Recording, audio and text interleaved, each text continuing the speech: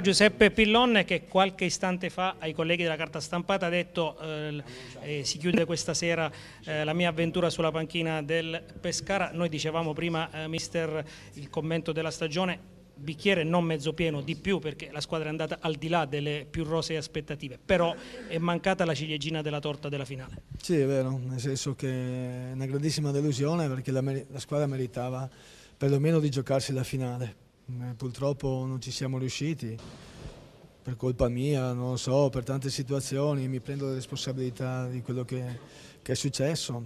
Eh, un vero peccato perché la delusione è talmente enorme in questo momento che faccio fatica anche a parlare sinceramente. Lei qualche giorno fa aveva più volte detto, anche rivelato, che in caso di promozione in Serie A ci sarebbe stato il rinnovo automatico del contratto, così eh, non sarà. Eh, lei lascia, lascia con qualche rammarico, comunque soddisfatto di aver portato il Pescara alla semifinale dei playoff? Beh, rammarico sicuramente c'è perché è una cosa che sognavo sinceramente di andare in finale e di giocarmela lì.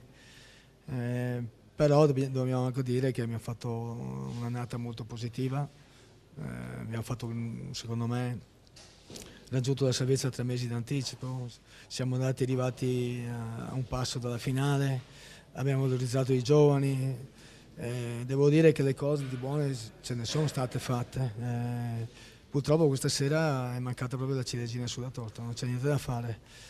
Eh, questo mi dà un grandissimo rammarico, mi dispiace. Eh, lascio però con, con, molto affetto la tifoseria, i miei giocatori che mi hanno sempre sostenuto, che sono sempre stati vicini, che hanno lavorato con grande dedizione e ringrazio Giorgio Repetto che mi ha portato qui e che mi è sempre stato vicino nei momenti anche di, di difficoltà, che mi ha sempre rassicurato e mi ha lasciato tranquillo. Ringrazio anche voi giornalisti perché siamo sempre stati eh, parte integrante di questo percorso che, che abbiamo fatto assieme in questo anno e tre mesi.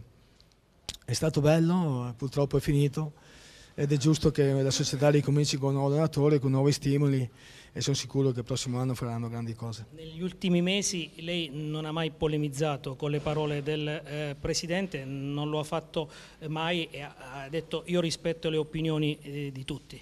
Sì, e continuo a rispettarle, nel senso rispetto le opinioni di tutti anche se alle volte vengo criticato, devo rispettare perché fa parte del mio lavoro.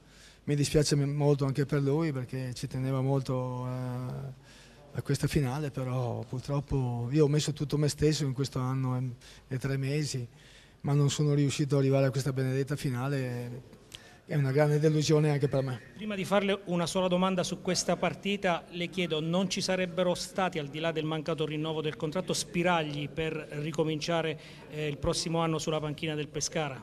Da parte sua sì, dall'altra parte mh, probabilmente no. Non lo so se dall'altra parte o meno no, Questa, io avevo preso questa decisione, ho detto solo se, l'avevo anche dichiarato, ho detto solo se vinco il campionato potrà continuare il mio percorso qui a Pescara, non l'abbiamo vinto, è giusto che io vada a casa. La partita di questa sera, mister Pescara che non è riuscito a ripetere la gara del Bentegodi, secondo lei perché?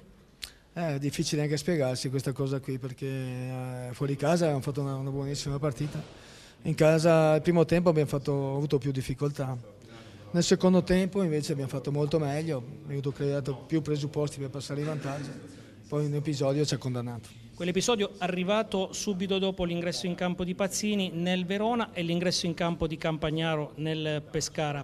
Sì, eh, abbiamo avuto l'azione al gol subito mettendoci in quel sistema lì. Poi come spesso capita nel calcio, il gol sbagliato, abbiamo preso il gol che si poteva evitare.